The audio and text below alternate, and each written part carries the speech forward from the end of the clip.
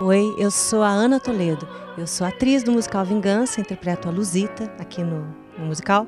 E eu também sou a autora do texto.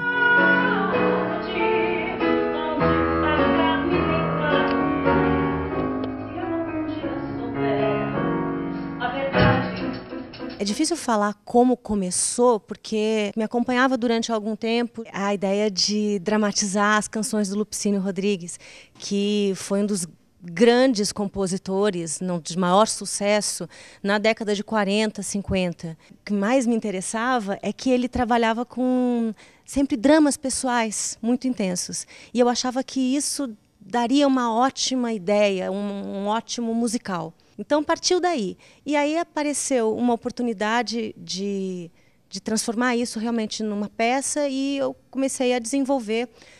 Chamei o André Dias, né, que, que é o diretor da peça, já na época, para a gente conversar, porque eu não queria dirigir, eu queria escrever a peça, queria atuar.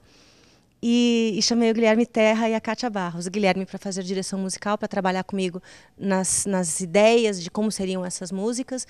E a Kátia, desde o início também, para a gente conversar sobre a, como seria né, essa linguagem corporal, como seria essa coreografia. E aí eu fui escrevendo. Eu fui escrevendo, escrevendo, coloquei na lei e, e aí aprovou. E aí a gente conseguiu patrocínio e parece rápido, mas, mas levou um certo tempo. A história que eu escrevi é um pouco complexa de resumir. Envolve três triângulos amorosos, seis personagens.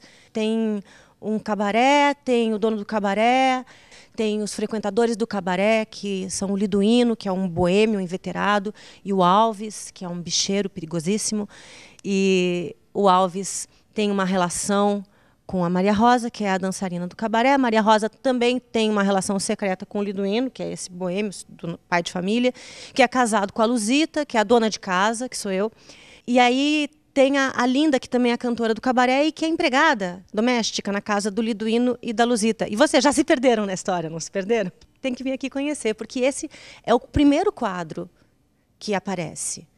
E aí, a partir disso, as relações vão se desenrolando e a gente vai descobrindo que elas são muito mais complexas do que elas, são, do que elas aparentam.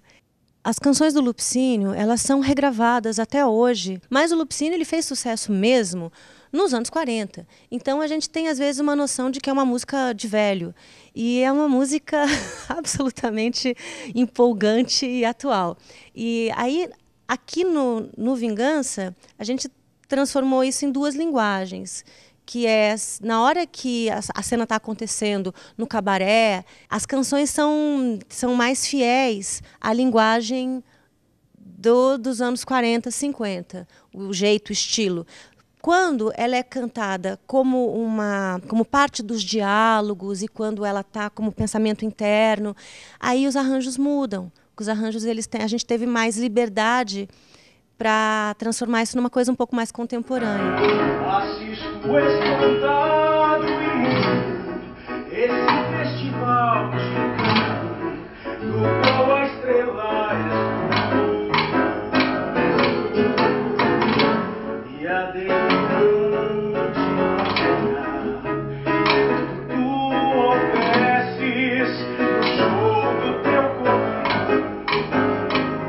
Personagem é o Alves, ele é um contraventor, é um cara boêmio, mas não só isso. Ele era um contraventor porque ele lidava com o jogo do bicho, mas ele estava no alto escalão. E a história dele principal no espetáculo gira em torno da Maria Rosa, que é uma bailarina do cabaré. Ele encontra ela machucada, não sei o que, tira da rua, coloca ela num apartamento, tranca ela durante o dia e ela só pode sair à noite para ir trabalhar.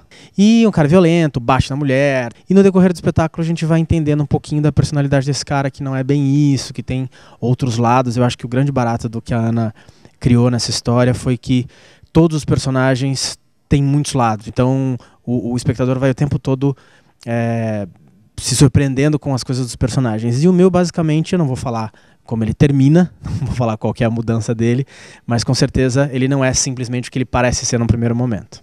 É, esse espetáculo, assim, a Aninha tentou idealizar esse projeto já faz acho que uns 5 anos, se eu não estou enganado. E aí o convite da Aninha veio. Eu tinha acabado de fazer o Priscila, que inclusive era um personagem extremamente oposto do que eu faço aqui, o que é muito bacana para mim. E eu tava cheio de. tô cheio de projetos com coisas de produção, de tradução, não sei do que. E a Aninha me chamou para fazer e eu falei, putz, acho que não vai dar. Ela falou, bom, mas lê o texto, porque da última vez a gente não tinha conseguido ler. Ela falou, mudou muita coisa a ler. Eu li e no primeiro momento eu já me apaixonei, me encantei pela história e falei, não, tudo bem, eu topo fazer, vou fazer. E aí assim começaram os ensaios e aí seguimos estamos aqui. Então, na verdade, assim que acabou Priscila, né? Eu fiquei um ano fazendo Priscila, que era ali o Tic Mitzi, que é drag queen, é uma energia muito mais feminina, muito mais para dentro, muito mais sensível. Era um outro timbre, então era tudo mais levinho. Aqui eu dou uma pesada um pouco mais para voz de peito, para ficar tudo um pouco mais grave. É, e teve, obviamente, o processo mais tranquilo que é de poder deixar o peito peludo, deixar a perna peluda, o cabelo crescer, a barba crescer. Lá tava tudo liso, aqui já virou outra coisa.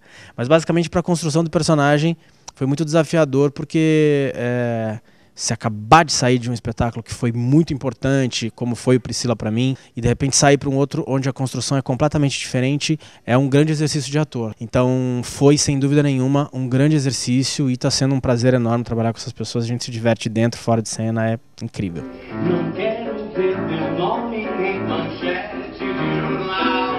Não conte pra ninguém, Venham assistir Vingança, musical, aqui no CCBB de São Paulo, todas terças, quartas e quintas, às 8 horas da noite, horário super alternativo. É, vocês são muito bem-vindos, a gente fica em cartaz até o dia 4 de julho e os ingressos estão acabando, então venham logo, tá bom?